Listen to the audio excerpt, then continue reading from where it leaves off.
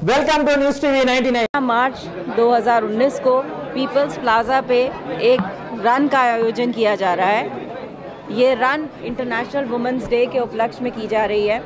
इस बार इस रन का थीम है वी आर वन हमारा ये उद्देश्य है कि हम लोग सभी, चाहे वो किसी भी प्रोफेशन में हो, चाहे लड़, चाहे लड़के हों, चाहे लड़कियाँ हों ऑल मैन एंड वुमेन हम लोग सब मिलकर विमेन सेफ्टी के लिए विमेन एम्पावरमेंट के लिए ये एक रन में पार्टिसिपेट करेंगे।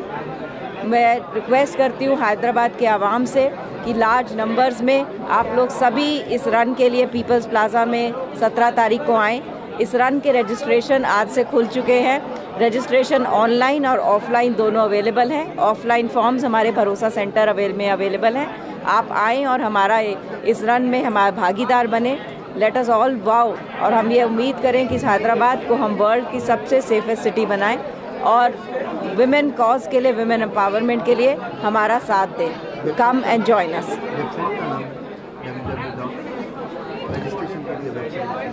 जो वेबसाइट के डिटेल्स हैं वो हमारी हैदराबाद सिटी और शी टीम्स और भरोसा सबकी वेबसाइट फेसबुक पे अवेलेबल रहेंगे W www.ifinish.com thank you This news is sponsored by खलम गर्ल्स जूनियर कॉलेज लड़कियों की तालीम का मियारी मरकज जहाँ बहुत ही उमदा माहौल में तालीम दी जाती है।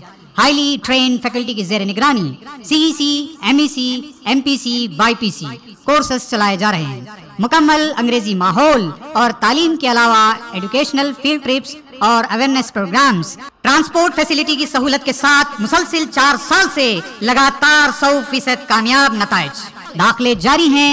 आज ही तशरीफ़ लाइए अपने लड़कियों के रोशन मुस्तकबिल के लिए। आपका अपना इदारा फलम गर्ल्स जूनियर कॉलेज मजीद तफसीलात के लिए D R D L road Babanagar और तारबंद रोड, नज अनस मॉडल हाई स्कूल।